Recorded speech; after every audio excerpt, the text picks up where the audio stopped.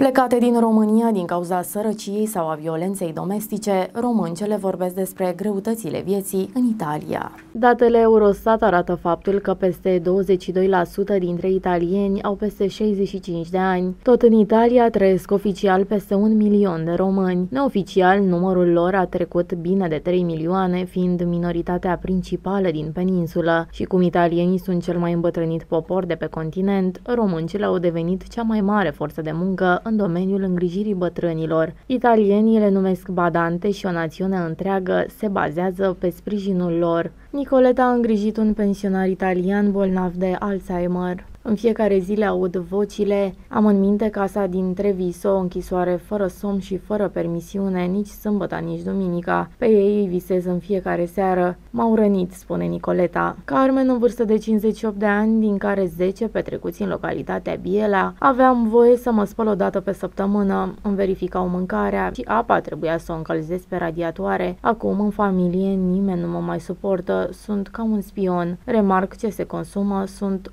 obsesivă. Italia m-a făcut așa. Așa sunt italienii, nu le pasă de părinții lor, își iau un îngrijitor și pa, își văd de viața lor, spune Elena în vârstă de 60 de ani, care a îngrijit bătrân timp de 5 ani. Am lucrat la Verona, la Negru, mi-au dat puțin bani de mâncare, am ajuns să cântărești 50 de kilograme, am avut grijă de un bătrân care cântărea 100, am avut dreptul la 6 jumătăți de mere pe săptămână, în fiecare zi mâncam jumătate și păstram cealaltă jumătate. Mi-au pus un pat pe coridorul unde dormea câinele, ca în iad și cuvintele rele, româncă, voi toți ați murit de foame. Am avut atacuri de panică, o durere fixată în gât. Între timp, familia mea era în ruină. Mi-am lăsat părinții în grija altora. Copilul meu dormea cu poza mea supernă, mereu tremura, mă chema. La 19 ani, el avea deja părul alb, povestește Elena Alexa. Copiii rămași acasă suferă foarte mult, mai notează cotidianul italian, avansând și niște cifre statistice statistice